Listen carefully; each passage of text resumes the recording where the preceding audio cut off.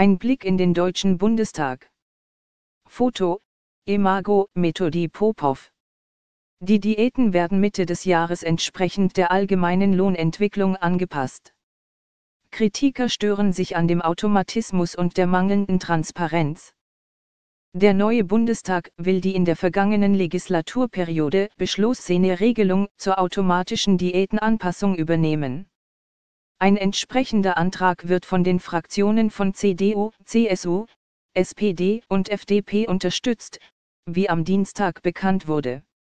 Nach der Anpassungsregelung, die in der jetzigen Form am 24.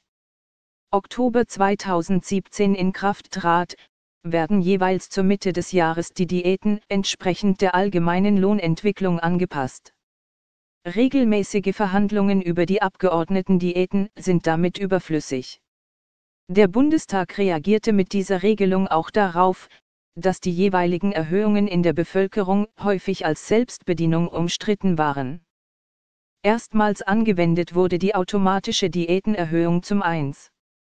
Juli 2016. Kritiker stören sich jedoch auch an diesem Automatismus nach der allgemeinen Lohnentwicklung. Der Bund der Steuerzahler, BDST, reagierte mit scharfer Kritik auf die angeblich kurzfristigen Pläne, den Diätenautomatismus im Bundestag weiter aktiv zu halten. Wieder einmal wollen sich die Abgeordneten klammheimlich höhere Diäten gönnen, ohne dass die Bürger davon etwas erfahren sollen, kritisiert BDST-Präsident Rainer Holznagel. Jede Diätenerhöhung muss öffentlich und transparent im Bundestag debattiert werden. Einen Diätenautomatismus darf es nicht geben, so Holznagel. Deutsche Presseagentur